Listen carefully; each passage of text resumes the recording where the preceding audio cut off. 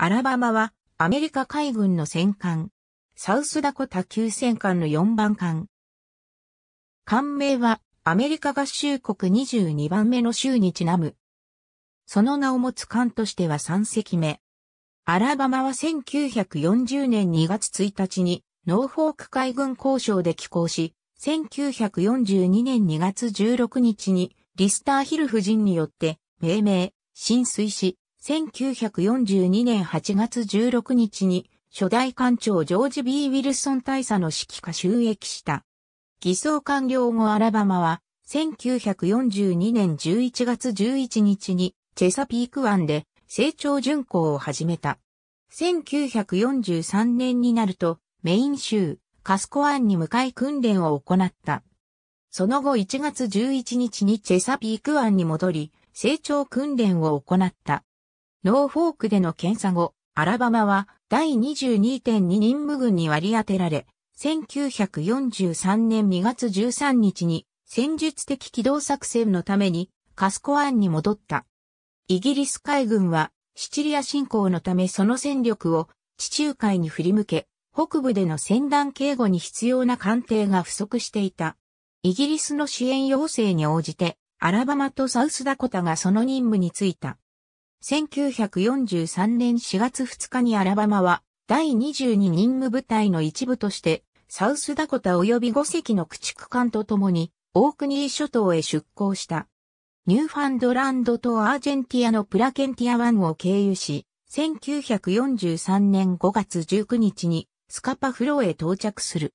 第61任務部隊に配属、イギリス本国艦隊の一部となり、共同作戦を調整するための集中的な訓練演習を行った。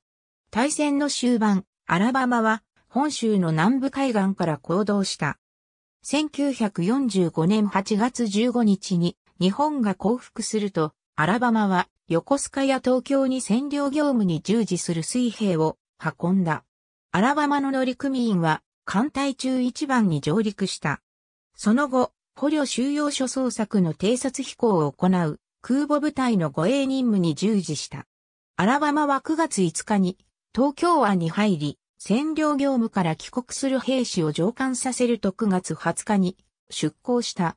マジックカーペット作戦の一環として沖縄で海軍建設大隊の700名の水兵を上艦させ帰国の途に着く。10月15日にサンフランシスコに到着し、10月27日の海軍記念日には9000名の訪問客が乗艦した。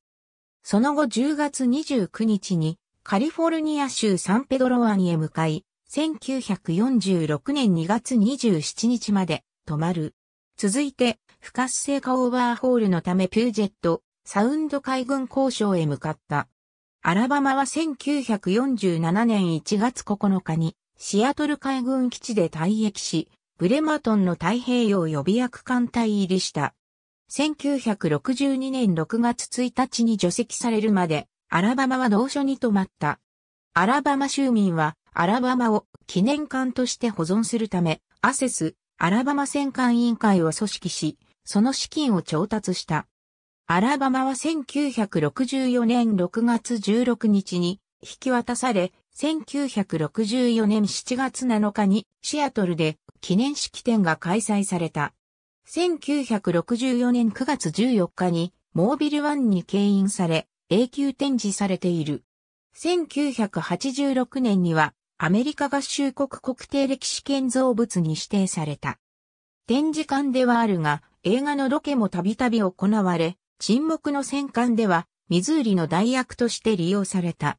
アラバマは第二次世界大戦の選考により9個の従軍聖賞を受賞した。ありがとうございます。